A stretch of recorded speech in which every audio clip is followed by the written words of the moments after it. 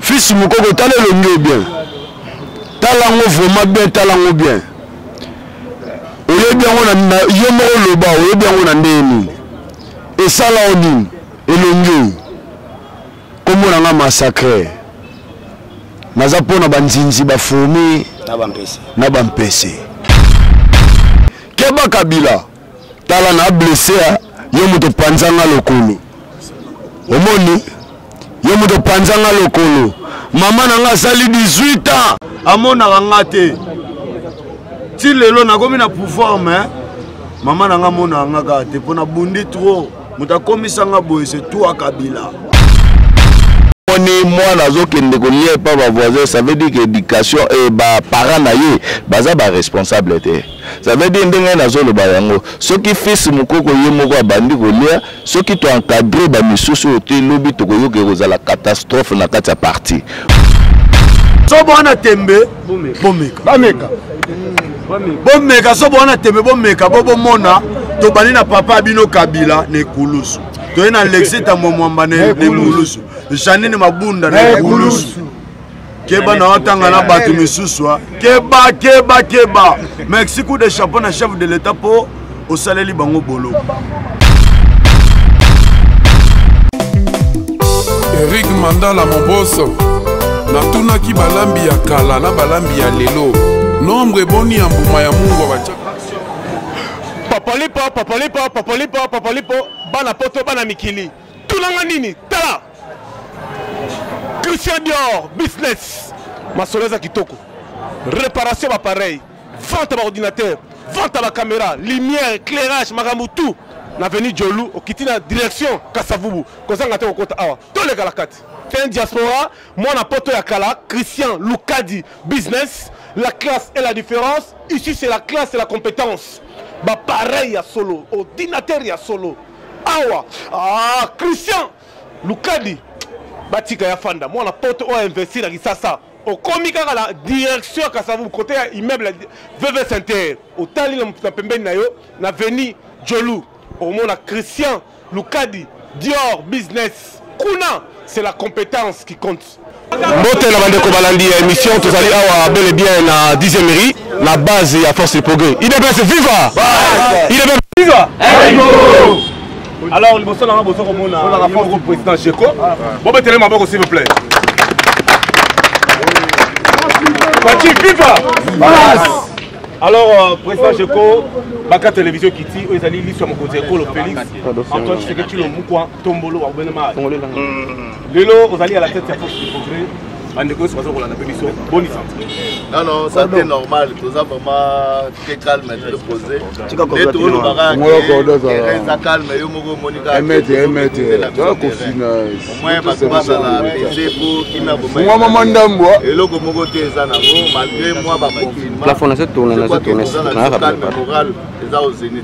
nazo tourner nazo tourner eloko nini ko apporter au sein ya force du progrès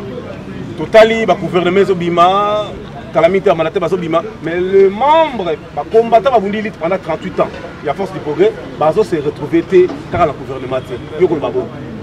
outi koloba awa eza televizio ya mokonzi moto moko te akontredire ngai mpo ngai nalobaki ke nakosala te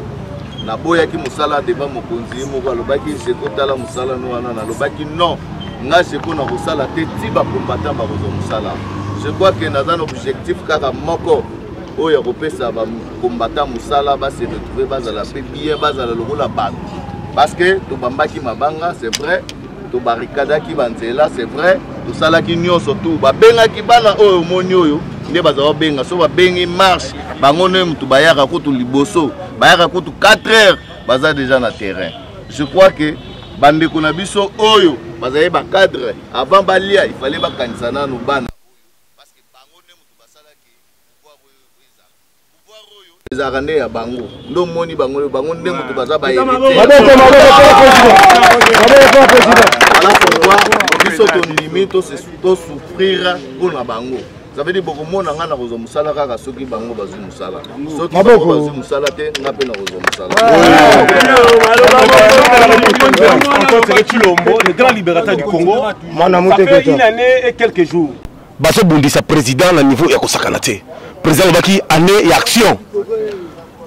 conseiller chargé de mission chef de l'état akufi monseigneur mulumba azali koko na ngai akufi bato baza bebe na mokonzi bazokufa mais tolobi année action bino fo bokoki bofandi kaka boye ndeti bapakoli bino elamba na motu bosali te effort te bokutana na président toyei président boyeba pourquoi bato bazokufa ose entourage ya président pourquoi président bazobloke 100 euh, jours bosali bosali te action moko te non non toza na kati ya kosorganize eza équipe Je crois que biloko nyonso tu wana euh, ezalaki na mwa letargie mwa bamakambo ezalaki na kati ya force du progrès petit à petit toya na kati ya kobongisa yango d'ici là tozobwaka mpe gouvernement na biso oyo ekosala nini ekocontinue mosala ebele par rapport ya force du progrès toza nano na combat oyo eza nano interne ça veut dire que soki problème eza nano mais epa na yo nano problème eza il faut banda nano kobongisa nano epa na yo avant okende kokende pa, pa voisin moto ezopela nano epa na biso voilà pourquoi tolingi nano tobongisa nano tokokende te kolakisaka bato euh, ke misapi ke bango nano baosala mabe tandis ke biso mpe toyebi ke problème eza na kati na biso. Nani azosala pelisa moto ose ya idps nani? Problème ezali ke ezali na problème ya Jean-Marc Kabund na ndeko na ye Kabuya. Parti au pouvoir bakoki ko diriger yango jamais na bato mibale. Ba dirigeaka toujours na ba état major. Ça veut dire que banda tozwa pouvoir okomona ke soko ya ta permanence wana okuta ke batia ba soda. Elongwa parti du peuple ekoma parti ya ba militaires. Oyo etikala kozala te depuis euh, Etienne Tshisekedi héritage oyo atikelaki biso atikelaki biso jamais tozwa basoda to remplacer bango na place ya ba ya ba combattant etikala kozama te voilà pourquoi tozosenga toujours na kati ya organisation na biso toza na baobjectif na biso mais bopesa biso kaka mwa temps moke En attendant confinement esila bokoyoka son bokoyoka force du progrès et puis force du progrès ekozala partout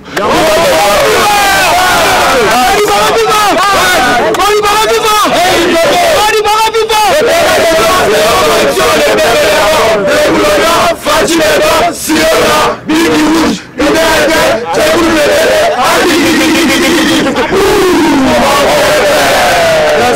touti koloba ke force du progrès eza premier mouvement hormis baparlement debout nde bato oyo toye kokuta mais à part parlement debout force du progrès nde moto akanga masolo so mpe oke kote terrain eza force du pouvoir aza na merwan moko te akokani na biso na terrain wana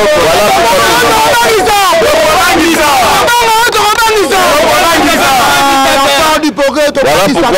tolobi ke tozobanga motu te tozorespecte kaka consigne lokola toza na etat d'urgence tozozela makambo wana esila bokoyoka bino moko son ça veut dire que force du progrès c'est vrai tozalaki na ghetto parce que tozalaki kaka na limete so olingi omona force du progrès ezalaki kaka na limete mais cette fois-ci ekozala na limete te ekozala presque na rdc mobimba bino moko bokoyoka problème ya parti je crois que après confinement baaction ekosalema mais nde tolobi tokozwa temps ya kosolola na baoyo balingi kosolola soki balingi dialogue toza prêt ya kosala dialogue parce que partout au monde ata baguerre ya ndenge nini tu eloko ebandaka liboso ezalaka nano dialogue soki baboyi dialogue oyo biso topesi bango soki baboyi koyoka biso bakoyoka oyo biso tobongiseli bango parce que biso tokimaka te pendant mobutu toexista toye na musee totikali na kabila to resiste ti tolobaka na ye ke kabila okenda kotika biso atiaki tembe mais lelo apesi biso raison mpo ye akei biso totikali toza kaka toujours na terrain tozobunda ko président bandeko bazotala mpe biso lelo gouvernement ezali en place yves nkulu azalaki ligue de jeune il se retrouve na mi ministre mama agasia auti france ministre sylvain mutombo ministre Maman Chantal, lelo azali conseiller mpe ya chef. Est-ce que azui part euh, ya bandeko bazali bozwi misala mpo na bango bozwi misala mpo na bango bon ça veut dire que toza un peu déçu na bandeko na biso na comportement na bango oyo bazosala mais toloba ke force du progrès nde etombolaka force du progrès mpe esala nini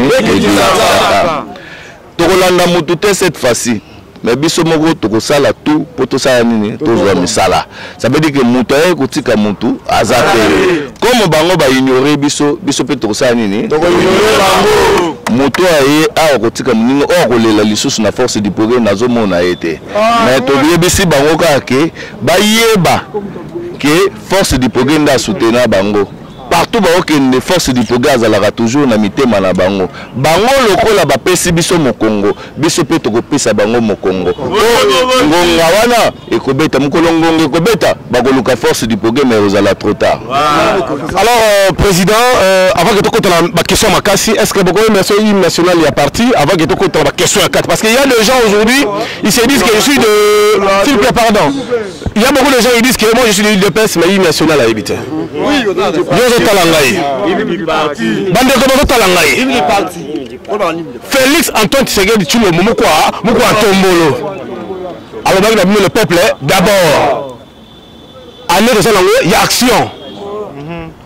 bino bozo se tembe état de droit bakokanga plus de combien plus de 700 non ah. bakokende boloko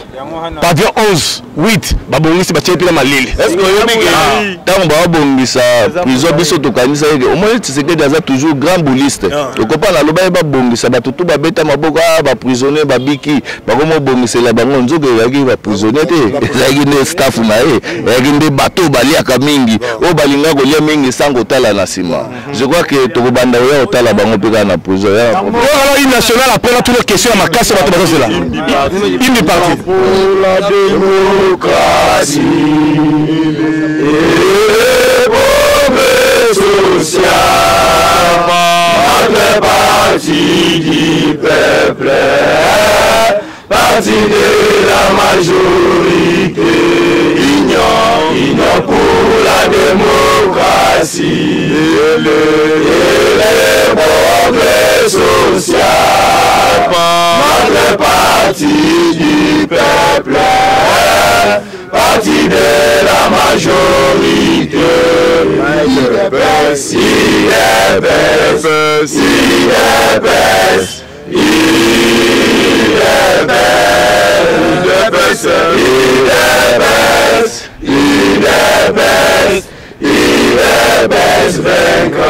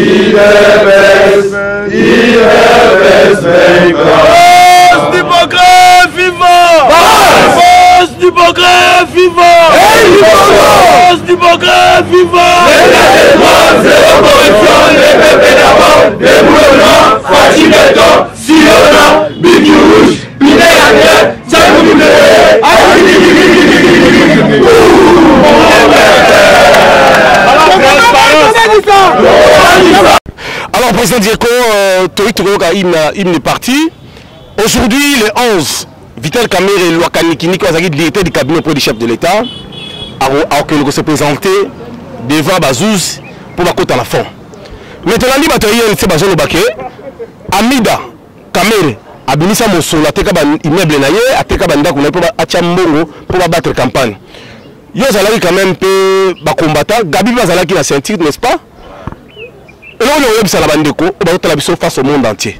eza ya solo bi ezali oyo babengi bamascarade non non je crois que euh, nde tozoloba na bandeko na biso ya imc e tozoloba na bango batika agitation bacomprendre ke toza devant justice bagarde calme na bango amida atya mbongo ou pas Biso tozalaki te. Akoki koya na document oyo basignaki apesaki president de la republique mbongo mpo abattre campagne biso mpe tokotuna ye mbongo oyo azwi na oyo ye atyaki na campagne na oyo bango bayibi lelo je crois wapi eza ebele nakokanisa ke oyo bayibi lelo eza ebele par rapport oyo apesaki atiaki campagne wana yango tozoloba boye tolingi polemiki te parce que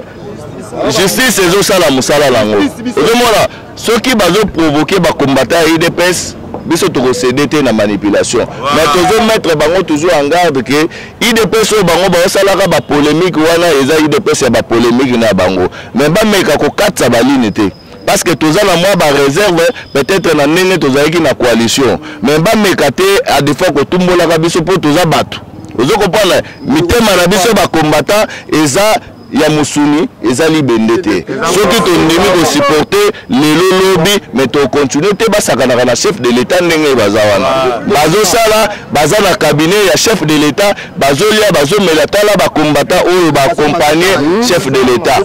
ozomona toza awa na balabala tozokipe te totikala jamais kokende na bandako na bango mpo na kosenga bango me tovanda totalaki eza normal ndenge basalaki ndenge bayokanaki me ntango bango bakomi kolakisa président de la république mosapi na miso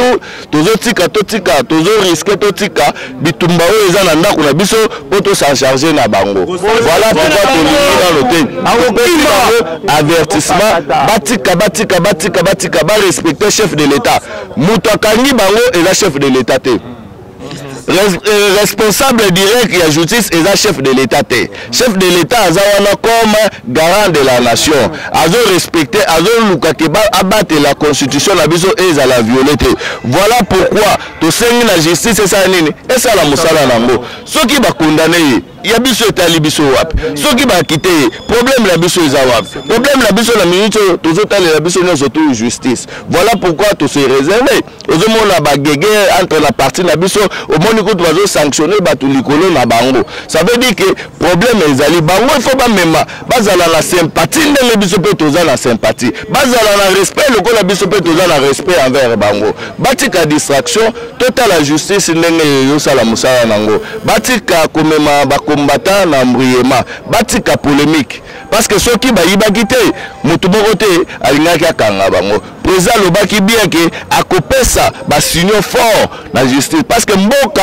etongamaka jamais na ba sardine mboka jamais etongamaka na nini mboka etongamaka na justice lokola justice ezali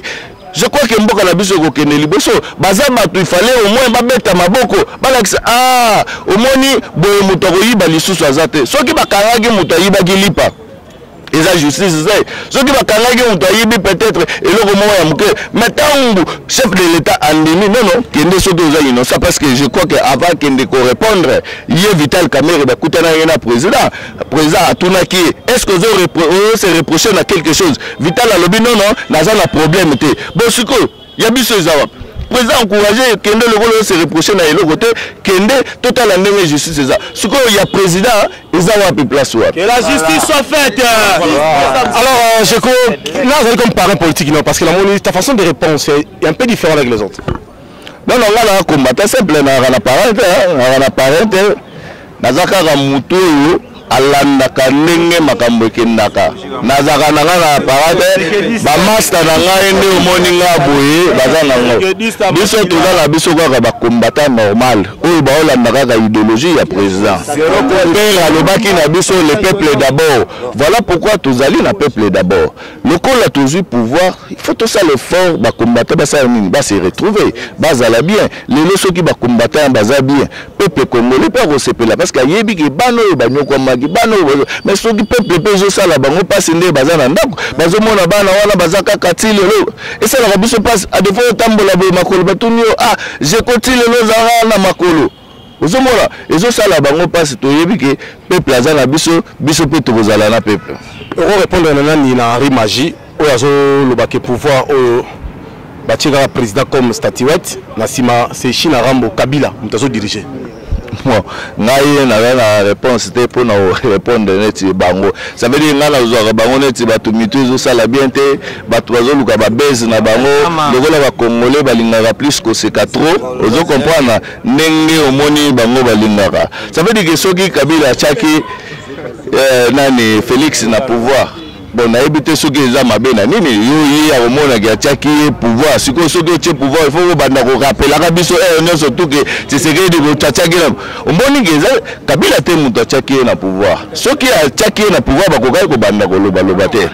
ça veut dire que eza nde émotion nde ezosala bango ya eloko oyo bango baperde ozo comprendre bayebi baza na bachoc baperde eloko ya makasi oyo bandimaki te ke bakokaki koperde yango wana nde esalaka bango eza batrouble okopona eza batrouble nde moto ezosala bango mito ezosala bango te bazoreve okopona bazo reve soki tisekedi bango batiaki tisekedi na pouvoir me bakokaki kozongisela bango bapasseport diplomatique oyo babotola bango est ce que oyebi ke bakitisa bamisusu na avion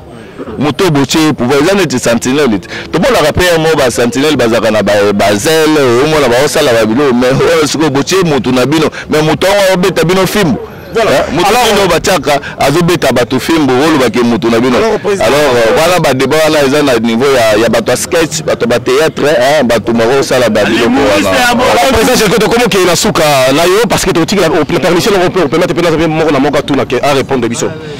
bandeko bazolanda mpe biso tolandi yo moko olandaki na tv nyonso évêque mukuna azwi courage ya kosoutenir le chef de l'état félix antoine tseke tshilombo na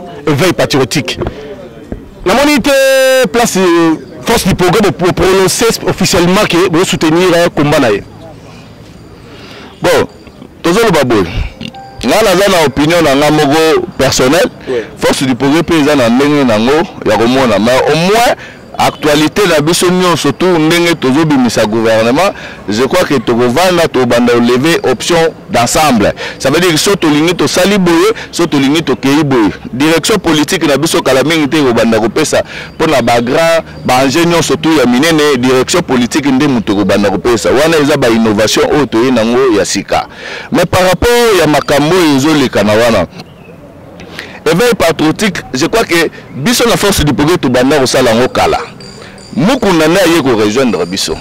Ye nde motu ifo aya azala na nsima na biso ke biso tokokende na nsima Mukuna te. Parce que Mukuna ntango biso tozoyebisa Mukuna ke Kabila aza mabe. Mukuna andimaki biso te. Ntango biso tozoloba ke Kabila aza assassin. mokuna andimaki biso te mais eloko nini tozoyebisa bango nyonso tu bazoya parce que tozoboya polémique biso tolingi polémique te momo tozoyebisaka bato nyonso tout ke pouvoir ezalaka mpo na peuple pouvoir ezalaka mpo na baindividu te lelo mokuna azala sincère soki akosoutenir biso seke il faut soutenir biso ntina suka ezala te lobilobi mpe toza na pouvoir te alongwe lisusu abandi kofinga lelo udps lisusu parce que tolingi bongo te yo toyebi yo ndenge obanda komba na yo me tolingi te ke komba ya lelo oza awa lobi oza awa bana oyo nde omoni boye mokuna aliaka bien koleka bana oyo me bana oyo baza fidèle ebele baluka badebouche bango bakende me bana oyo batikala baresista eloko nini esalaki ba resiste ça veut dire que biso tobundi tozwi pouvoir naza besoin te ya kosala polémique sur makambo ya mukuna mukuna aza mutu mais problème na biso tozoteya kaka na bapaster na biso basambela nzambe ya solo batika kosala biloko wana parce que biso moko toza na basi na biso bazalaka na ba eglise wana lelo soki ezosalema ndenge soki eza vrai totya nanu soki eza vrai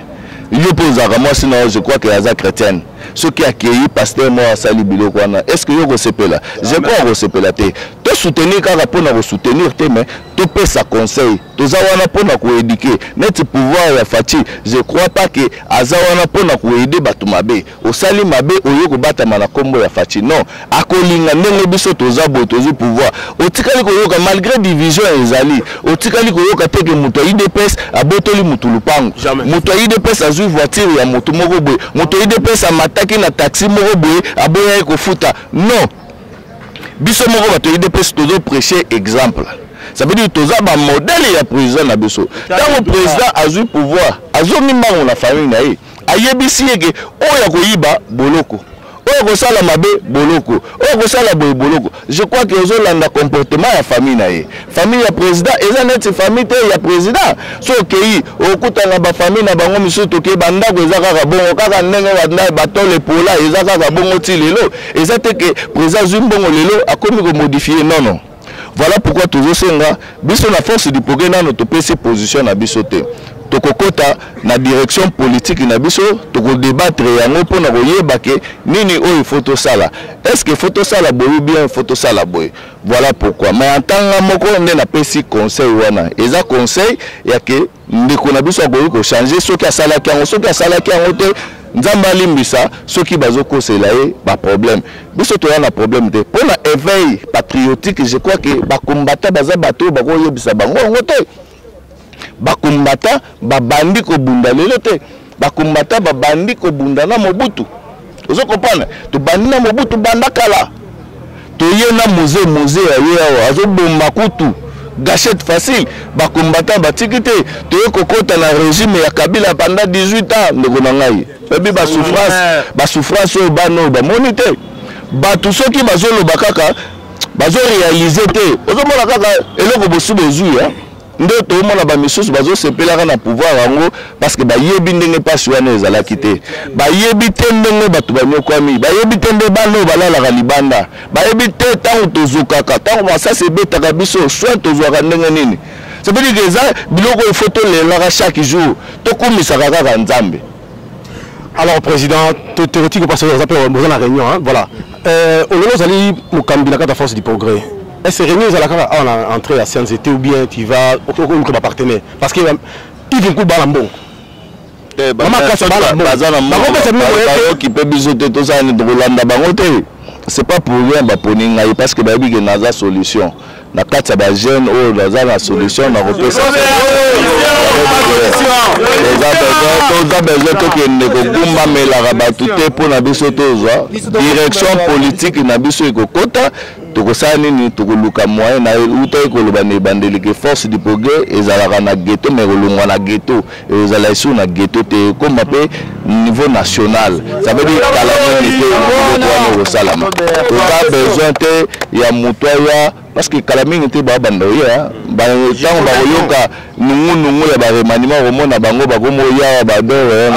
toyebisa bango kutu toa nango besoin te bofanda na biloko na bino bopesa bana na bino bafamile na bino basi na bino babokilo na bino bolia lokola pouvoir oyo biso tonyokwamaki tozokaki tobundaki tomeli bagaze mpo na bino merci nzambe amona bino merci président liloba suka ni bato bakoloba pafi napesa mpe bandeko baloba président clôture nono mpe napesa bino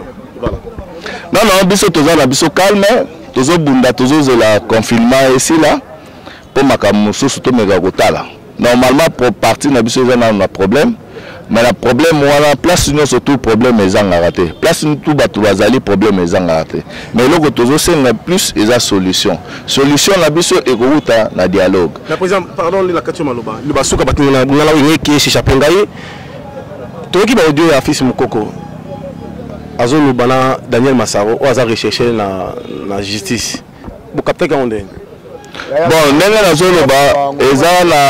bamakambo mingi naolinga koloba yango te naza na difficulté ya koloba yango parce qu'il faut ezala position ya force du progrès mais lokola eza position ya force du progrès te antanga moko motu nazoloba toujours soki momoni mwana azokende kolia epa bavoisin ça veut dire que éducation e eh, baparent na ye baza baresponsable te ça veut dire ndenge nazoloba yango soki fils mokoko ye moko abandi kolia soki to encadrer ba misusu oyo te lobi tokoyoka ekozala catastrophe na kati ya parti voilà pourquoi tozosenga ke toyokana tosangana tozala liboke moko mpo bana bakende kolela nzala epa bato misusu te soki fils azokende kolela nzala epa bavoisin mais papa na ye nde moto aza na pouvoir eza kokamwa eza neti biloko eza na ndako me mwana okende kolia epa bavoisin eza na sens te voilà pourquoi tozosenga boye tozosenga na parti nyonso tuke bato basala nini bazwa conscience soki bato baza na nzala bazolela nzala parti azwa conscience tovanda parti nde moto ekopesa bato mosala parti te eza président de la république te moto akobanda kolandaka mpo na misala ya bandeko nde baza boye eza parti soki parti eza organise eza fort je crois bandeko moto bakozala na mosala mais soki bakopesa bana oyo misala te lobi bakoya kolela bango tokobanda kopesa exemple ya fils mokoko te ngai nalingi topesa exemple ya fils mokoko te yo okanisi ke soki parti na biso ezali koorganize fils mokoko akokaki kokende kolela nzala epa mazaro akokaki kokende te c'est parce que nzala ezali peut-être asupporte ndenge bamisusu toza na bango awa président soki tozongi na ndako balobaka na biso ke bino vraiment parti au pouvoir oye ozolela fufu yebisa ngai nani moto azoya eh, fufu kaka na ndunda na ndunda na ndunda mais bino parti na bino eza na pouvoir sikoyo moto wana akoloba nini ah, orépondre nini ozomona place oyo ezotinda bato misusu oyo bazokoka te kokende epa bafamille mosusu voilà pourquoi tozo interpele bandeko na biso toseka te tolobaka te ka tolakisaka bato ke te fisi moko kaza mabe asali boyeboyeboyebon mais tomituna biso moko eloko nini pousse fisi mokoko asala yango soki to résoudre eloko wana je crois bato bakosala yango merci président ok euh, bonne soirée merci voilà euh, oza mwa dédicace ya kopesa bandeko mbote balandi yo non napesi kaka baninga nyonso tu oyo bazali bato tu oyo bayebi ngai napesi bango mbote mingi mingi na force du progrès mingi mingi na mama denise motema ye abengaka ngai mwana na ngai liboso mama denise nyakero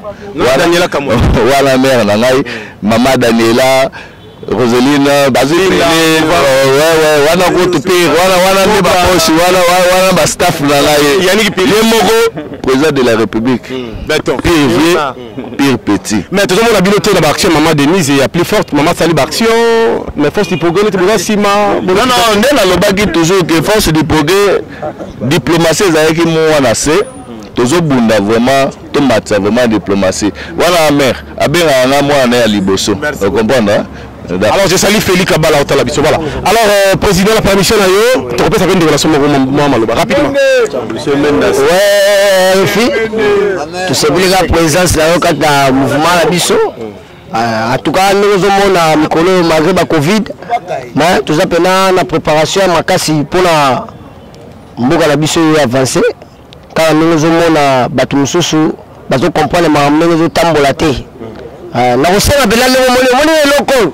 eza mpona bato bakobonga nzela bato bazotrahi parti bakosuka na ekuluzu mokolo tochange système tokomi na système ya baromain dixième nuit totyoka wana carrière nosili tobeta so motu te donc c'est-à-dire ke oyo oh, nyonso oyebi kaka na mabe na ye contre idps ekuluzu na yango oyo tutioka wana carrière politique merci alors gabi Ouais, merci na maloba talaka yo moko mwana kolo pesa biso euh, baargument parce que mama denise aotala biso mokonzi ya kola olanda biso stap mobeso olanda biso peuple congolais to bazolanda biso bon ngai naosenga kaka na bato baoblige parti balandelama maloba oyo kondo tshisekedi alobaki ke idps ekozala parti ya liboso oyo korespecte constitution oyo mpe korespecte mibeko ya mboka alors pourquoi biso moko badonneur de leçon toza kobebisa baarticle ya statut na biso alors ke idps c'est notre patrimoine eloko oyo tokobatela oyo ekende liboso mpo egarde bokonzi na biso libela na libela ndenge bato balobaka c'est l'udps tosenga bamibeko ya parti ezonga na lolenge nango ndenge elongobani tosenga implantation mobilisation recrutement mpo idps esurvivre partout na 26 ya idps laba muculu paco rfi mole muteke te nalobi ya liboso nalobi boye nga naza d'abord kosinteresse mingi mingi na kabili makanisi na ngai na ensemble ya peuple congolais toza focalise na kabili nalobi bino boye fcc boyebake force du progrès na peuple congolais Tobosani bino te na nyonso oyo bosala biso na oyo nyonso bozo continuaka na kosala mais kolala kolamuka eza habitude te un de 4 matin tokotelemela bino bokokanga bisaka na bino mpe bokokende moko oyo peuple congolais moko te azalaka lisusu na ntina na bino toyebi ke boza bassassin boza bamesale ntambwe mwamba Yo d'ailleurs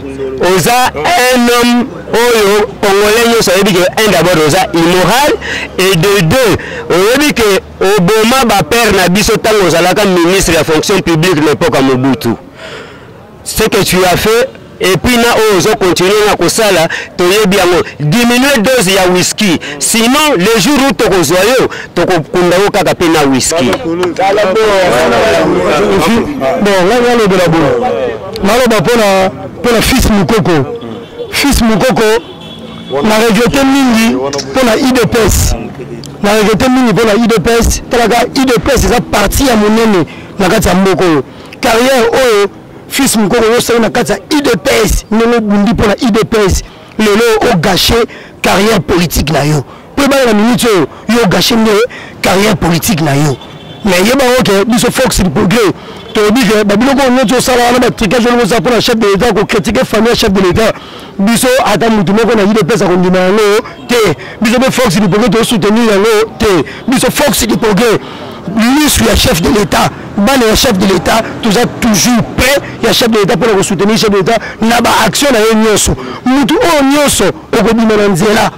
contre faci beton ye bana tokokuta na force du progrès donc toza wana toza même morale donc tobundaki kutu na opposition eloko mo soutien moko ezalaki te lelo avec soutien avec force avec toute énergie na faci beton ebongo lelo oboyo vaincre biso jamais tokondima mpe te tomona buzoba moko neti mpo na popo makambo ya évêque pascal mukuna nde président toloba évêque pascal mukuna bien sûr biso nanu éveil patriotique biso moko nanu ide place tobanda yango depuis fie etienne tisekedi ya molumba donc tozalaki déjà éveillé banda kala mais eloko oyo asali idéologie wana mpona kosoutenir chef de l'état toza nsima na ye mais ye tosupporte ya bétise te tolobi kaka toza nsima ne mpona kosoutenir mais tosupporte ya bétise te mais toza nsima na ye mpo na kosoutenir bakso motu oyo nyonso tu akoya na idéologie ya bien na philosophie ya tisekedi mpo na kosoutenir chef de l'état toza na ye merci oui. akola euh, ya pacho refi ngai naolinga na lobelo moko fils mokoko tala elongi yo bien tala yango vraiment bien tala yango bien oyebi yango yo moko loba oyebi yango na ndenge nini esala yo nini elongi oyo nkombo na nga massacre naza mpo na banzinzi bafourmi na bampese lokola okomi na rana nakomema mpe kaka na rana mpo mesana noka ya bongo ah, bambata oyo esala eloko te na tour oyo talango bien eza créé par massacre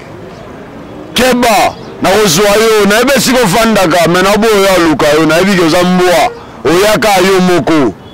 soki omeli bagene na olangwe ose retrouvaka na milieu politique yo moko moto abengako aza te kontinue ka buzoba tokozwa yo na bandeli lisusu nazongi na bato ya fcc keba kabila tala na blesse ya yo moto panza nga lokolo omoni yo moto panza nga lokolo mama na nga asali 18 ans amonaka nga te ti lelo nakomi na pouvoir me mama na nga amonaka nga kaka te mpo nabundi trop moto akomisa nga boye se tout akabila keba keba keba keba baventure oyo tosalaka na yo na année passée eza oyo tosala na neo te biso nyonso tozwi yo sikoyo en charge yo na alexi tambo yo na kamere ekiri na bino nyonso wana bania soso wana tokopanza bino tokopanza bino mposo tobi topanza bino boyebi biso bien toyebi tous les cartes ya rdc ya kinshasa toyebi yango bien biso idps natuna bino boyebisanga bino mona bandako na bino bozali parti politiki nini yango eza na kati ya république démocratique du congo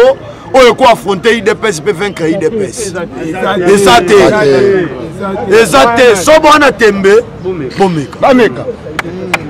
bomeka sobo wana tembe bomeka bo bomona tobandi na papa bino kabila na ekulusu toye na lexita momwamba na ekulusu janine mabunda na ekulusu keba na otanga na bato misusu ah. keba keba keba merci coup de chapeau na chef de l'état mpo osaleli bango bolo oza message mpona général euh, john euh, chibango général john chibango mosala na yo swango mpe na valeur mpo mokonzi mpe apesi yo valeur ebele baluka baposte ndeti nga wana telemi awa nabundi fort bambango nga nakimi na terrain oyo me yo okimi te bagaz oyo nga na meli yo meli te mais chef de l'état raisonne alali na pongi aloti yo john cibabala moko apesi yo poste général oza honore avec beaucoup de respect que je vous yango wana mais sembola mosala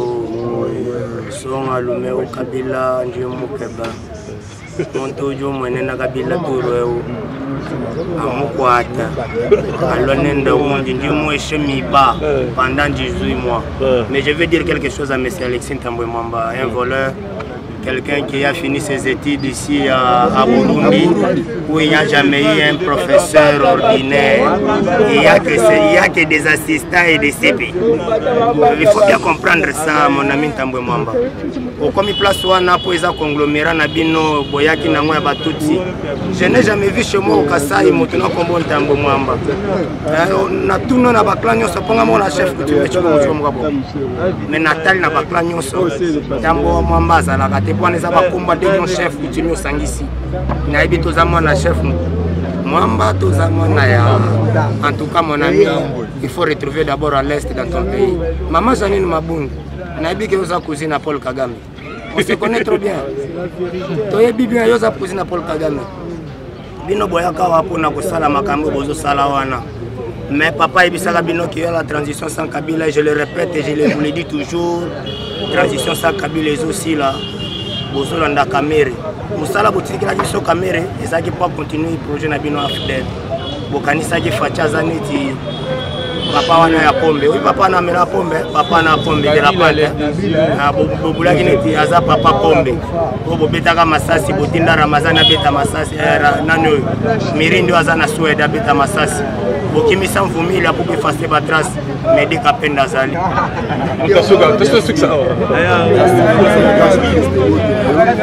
nani wesanga pasi na mboku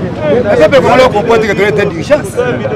pepe kongola so nabimi natamboli kuna kaka awi te faca bomi mboka nabima boye te faca asali boye mabi non etat d'urgence malade ezali chef abi totala malade ti jusque la ekende wapi esila nayebisa bango toujours ke toza na na désert moïse akata na désert okoprendre josué mpe aya sui ya josué asui toko akende apesa biso kana mais tozana na désert tosipote désert désert ekosila bayebaka efati beto akosimba mboka oyo ntina suka bato bakoganga bakobeta maboko bakobeta bashiti bazala prese te